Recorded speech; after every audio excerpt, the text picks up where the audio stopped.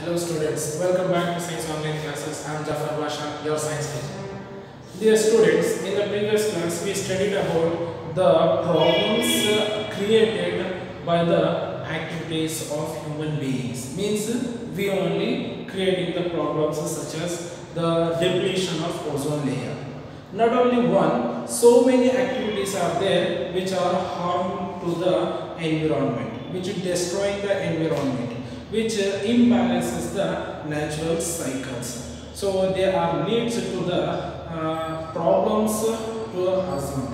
Understand? So what we are telling the natural calamities. So there are different different problems uh, created in the nature because of the human beings. So today also we are going to uh, discuss one more topic which are uh, created by humans and that is nothing but the managing the garbage we produce. Means uh, we are producing the garbage. So remember one thing we have to be remember. The waste what we are generally telling the waste which is producing domestically the waste which is producing domestically so it is considered as a garbage. So this garbage every home is producing the garbage in different different way in a different amount. Is it not? So we have to be discuss how to manage this garbage what we are producing in our homes. So to to know about the managing of garbage we have to be know some of the points that is uh, first collect the garbage. Whatever the garbage is producing in our homes first we have to be collect it.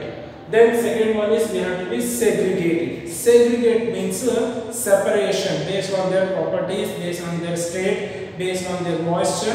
So we are separating the garbage, separating the waste what we are producing in our homes. Then next, if it is possible, we have to be recycle.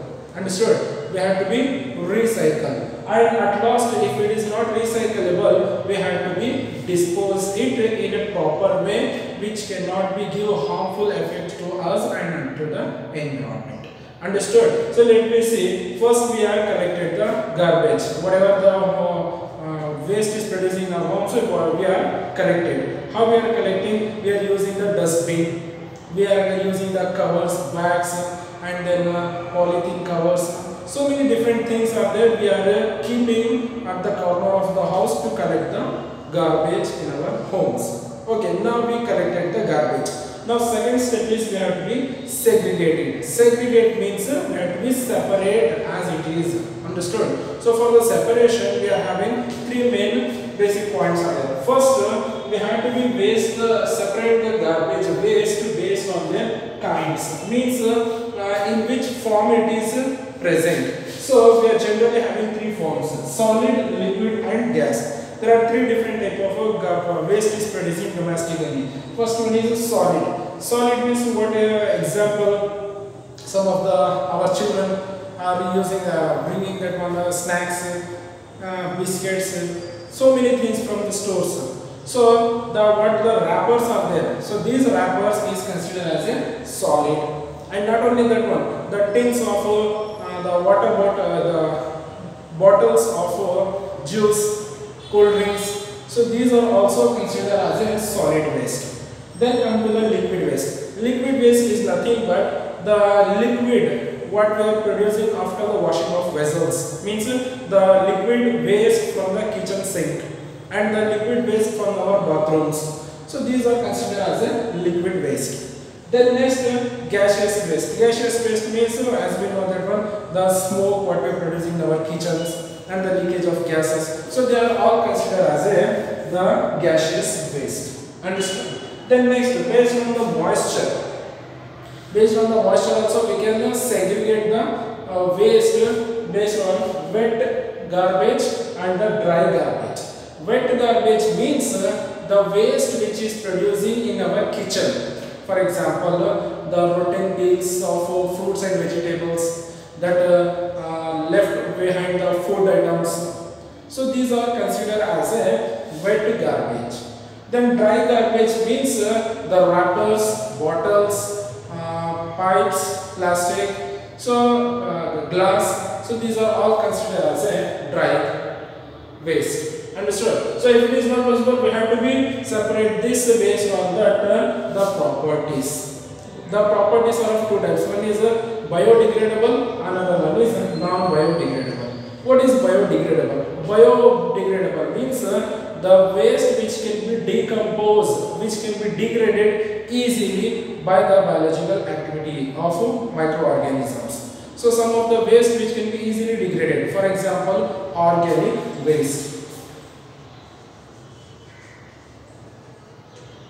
The organic waste is can be easily degraded. So that's why it uh, considered biodegradable. The non-biodegradable means uh, the waste which cannot be degraded, which cannot be decomposed by any activity, by any biological activity, by any chemical activity, it cannot be decomposed and it will be left as it is for long term and it can give harmful effects to our environment also. And so for example, inorganic.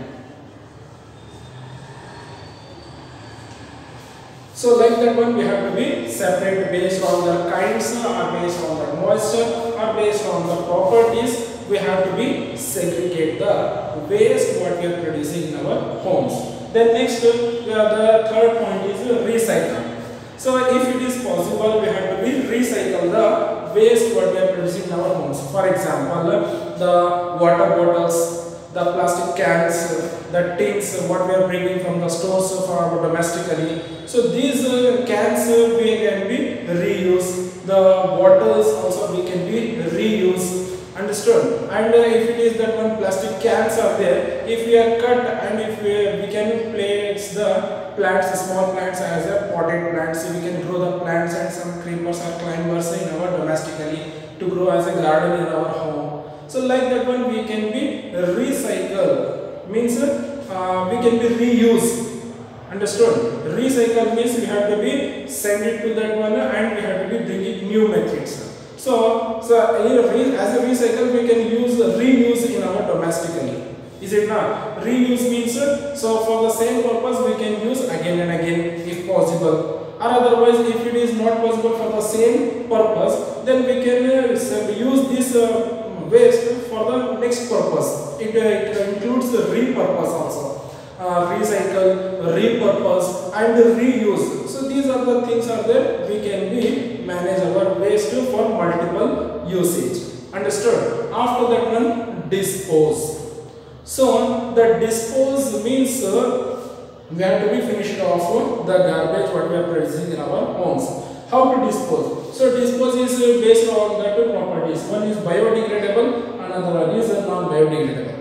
Biodegradable waste we can be decomposed, degraded or disposed easily by putting it into the earth. So it is not giving any harmful effects. So just bury the earth and put it all the biodegradable waste into it.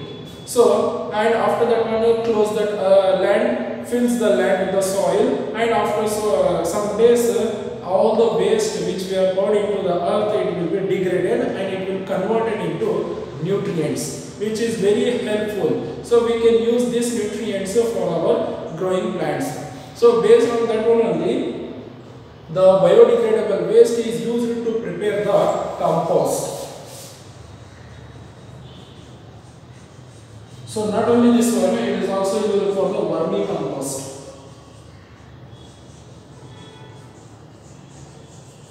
So the compost and vermicompost we can be prepared easily by using the biodegradable waste. So which is very helpful for the growing of plants and trees. So we can easily degrade it. It is no problem. It will be easy, useful to us for the growing of plants and trees. Then next come to the non-biodegradable. The non-biodegradable is uh, having different different types. As I told you, some of that one uh, to dispose the non-biodegradable waste we have to be think for the reuse, repurpose, uh, and then uh, refuse. First we have to be refuse it. Then if it is not possible to refuse, take it, but you have to be reuse it. Use uh, instead of uh, using multiple uh, covers you have to be use the same cover for the multiple uses. Understood? First refuse it. If it is not possible at least you have to be reuse it again and again for two three times. Then if it is damaged you can throw. Understood? So when it is not usable you have to be dispose it uh, in a good way. Means recycle. Understood if it is possible you have to be recycle it. So these are the methods for the disposal of non biodegradable waste. Understood? So this is all about the the managing of garbage producing in our homes. Hope you understand. Most important we have to be think these waste when it is the time of managing the disposing it should not be give harmful effects to anyone. In the environment or into the human being. So it should not be give harmful effects. So like that one you have to be carefully dispose it. Understood? Thank you one